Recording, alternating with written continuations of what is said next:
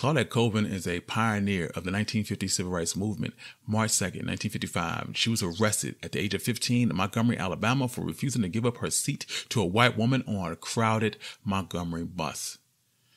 If you like stories like this, you can find more stories like this at onemichistory.com. Also, if you'd like to support the channel, you can do so on my Patreon page or my Buy Me Coffee in the description below. Also, give us five stars on Apple Podcasts and support the YouTube channel. But without further ado, let's get started. Born Claudette Austin in Montgomery, Alabama in September 5, 1949 to Marie Jane Glasson and J.P. Austin. Her father left when she was really young and Claudette's mother moved in with her great aunt and uncle, Mary Ann and Q.P. Colvin in Pine Level, Alabama. Claudette and her sister referred to the Colvins as their parents and even took their last name. When Claudette turned eight, Mary Ann Colvin inherited a house in Montgomery, Alabama so her family could be in the city. Montgomery was a completely different city from Pine level, but which was very rural. And she loved going to downtown Montgomery, but it also made her very angry because she could shop at the white stores and they would take her money, but she couldn't try on anything. By 1955, Claudette was a student at the segregated Booker T. Washington High School in the city. She rode a city bus to get to and from school, and during that time, 70% of the customers on the bus line were African Americans, but they were discriminated against by the custom of sitting in segregated seating. See, Jim Crow not only separated the races, but controlled every aspect of African Americans' lives, and nothing was more humiliating than riding the bus. All of the passengers had to enter in the front, but unless the entire white section was empty, black passengers had to get off and re-enter in the rear of the bus. If the bus became so crowded that all the white seats in the front of the bus were filled and white passengers were left standing, any African American was supposed to give up their seat and move further to the back or stand in the aisle or leave the bus completely. So on March 2nd, 1955, Claudette was let out early from school because of a faculty meeting and she was returning home. She boarded the bus, she paid her fare, walked straight onto the bus because there were no white people on the bus at that time and sat in the first colored section seat, two seats away from the emergency exit. As they rolled, the bus got more and more crowded as white folks got off of work. So when a white woman got on the bus was left standing in the aisle between the seats on Claudette's row, clearly expecting her to get up, the bus driver, Robert W. Cleere, looked in the mirror and said, I need those seats.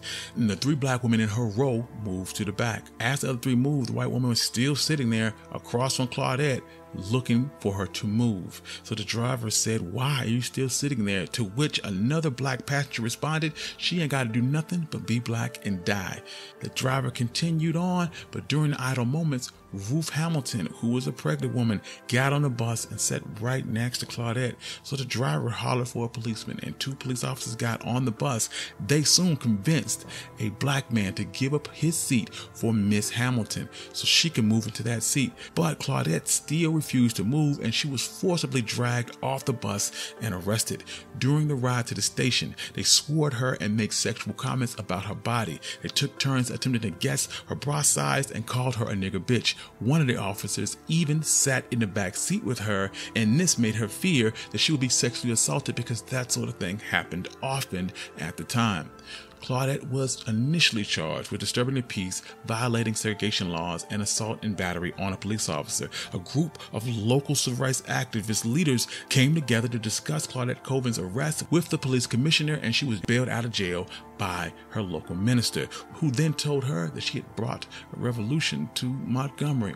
This event took place almost nine months before NAACP Secretary Rosa Parks was arrested for the exact same offense, and Claudette would later state that her mother told her to keep quiet about what she did. She told me to let Rosa be the one. White people were not going to bother her. They like her, and she felt that she didn't receive the same attention as Rosa Parks for a number of reasons. One, she didn't have good hair, she wasn't fair skinned, and she was a teenager and pregnant. At that time, civil rights leaders wanted to keep up appearances, and they wanted to make sure that the most appealing protesters were out front. Despite this, she was represented by Freddie Gray from the Montgomery Improvement Association, which organized civil rights action in Montgomery.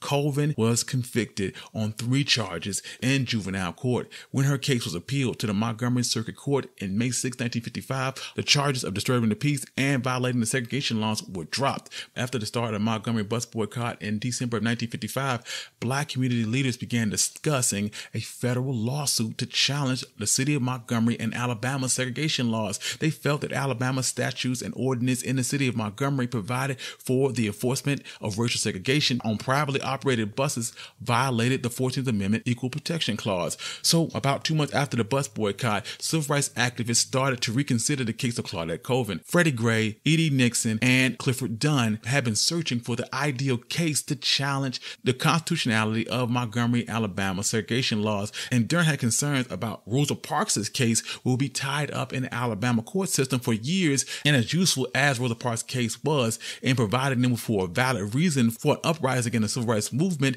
it was decided it would not make an ideal case because of the criminal statutes in her case. Freddie Gray wanted the court to only have to decide about the constitutionality of the laws around segregation on buses. Freddie Gray consulted multiple lawyers from NAACP's Legal Defense Fund and he approached Colvin, Aria Browder, Susie McDonald, Mary Louise Smith, and Jeanetta Reese all the women who have been discriminated against by the enforcement of the segregation policies on the Montgomery bus system. And all of them have become plaintiffs in a federal civil lawsuit that would bypass Alabama's court system. Jeanetta Reese would ultimately drop out of the case in February 1956 because of intimidation from local white folks. And she would falsely claim that she had not agreed to the lawsuit, which would lead to an unsuccessful attempt to disbar Freddie Gray for supposedly improperly representing her. February 1st, 1956, Freddie Gray filed the Aria Browder Gayle in the United States District Court. Aria Browder was a Montgomery woman who had been discriminated against on segregated buses, and A.W. Gayle was the mayor of Montgomery. The following month, Martin King and 90 of his followers were arrested for conspiring to conduct a boycott, and this led to the ensuing trial to be publicized and help bring light to Dr. King's crusade for civil rights and attention to the Browder Gayle case in general. Because Browder Gayle challenged the constitutionality of a state statute, the case was brought before a three judge district court panel on May 11, 1956, the first day of the trial. Freddie Gray had meticulously planned the order of his first witnesses. He wanted to start fast with Aria Browder, who was a 37 year old, well spoken black woman, and finish strong with Claudette Colvin. Walter Knobert represented the city of Montgomery, and his strategy was two part. First, to state that the black community did not object to segregation before the boycott, reminding them that initially they had only pushed for black drivers better treatment, not the end of segregation. And two, Dr. King was the one who stirred up all the trouble, and the city tried to paint him as a silver tongued outsider who never rode the buses in Montgomery. But during Claudette Colvin's testimony, Walter Knobert got right to the heart of the issue and asked her why she stopped riding the buses on December 5th. And she answered, because we were being treated dirty and nasty. Much later, Charles Langford, one of the lawyers for the plaintiff, stated that if there was a star witness in the boycott case, it was Claudette Colvin. On June 5th, 1956, the panel voted two to one that segregation on Alabama's interstate buses was unconstitutional, citing Brown versus the Board of Education as a precedent for the verdict. They stated that bus segregation laws in the city of Montgomery denied and deprived plaintiffs and other Negro citizens similarly situated in equal protection of the laws and due process under laws secured by the 14th Amendment. Judge Franklin M. Johnson would later state that the testimony of Miss Colvin and the others reinforced the constitutional position that you can't abridge the freedoms of individuals. The boycott case was a simple case of legal and human rights being denied. December 17, 1956, the Supreme Court rejected the city and state appeals to reconsider the decision. Three days later, the order to integrate the buses arrived in Montgomery. December 20th, King and the Montgomery Improvement Association voted to end the 381 day bus boycott. And in a statement, King stated that the year old protest against the city buses is officially called off, and Negro citizens in Montgomery are urged to return to the buses tomorrow morning in a non segregated basis. The city buses were integrated the following day. In the aftermath, Claudette Colvin gave birth to a son, Raymond, in March 1956. She received her GED in 1957 and left Montgomery to move to New York in 1958 because she was unable to find work following her participation in a federal court case. Colvin stated that she had been branded a troublemaker by many in the community, and similarly, Rosa Parks also left Montgomery for Detroit because of her role in the Montgomery bus boycott. Claudette Colvin would receive training as a nurse and worked as a nurse's aide for a nursing home in Manhattan during the late 60s. She continued working there for 35 years before retiring in 2004. As time passed, she was seemingly forgotten from history because she rarely told her story after moving to New York.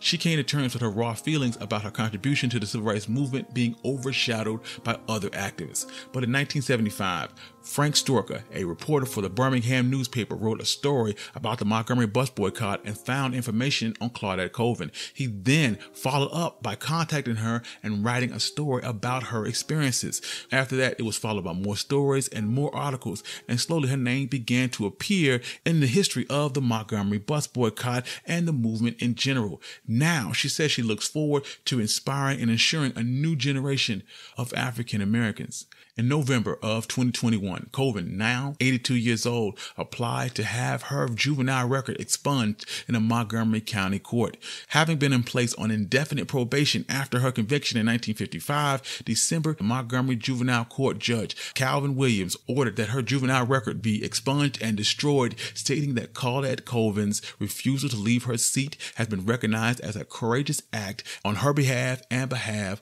of the community of affected people. Thank you. I'm your host, Country Boy. This has been the life of Claudette Colvin. And if you like more stories like this, you can find more stories like this at OneMicHistory.com. Also, if you'd like to support the channel, you can do so at my Patreon page or my Buy Me Coffee in the description below. Give us five stars on Apple Podcasts and support the YouTube channel. Peace.